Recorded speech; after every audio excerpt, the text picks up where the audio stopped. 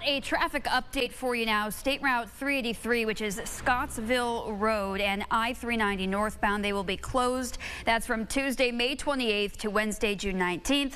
The DOT says drivers should follow the posted detours, anticipate travel delays if you're in the area. And as a reminder, officials urge you to slow down and please drive responsibly in any work zones.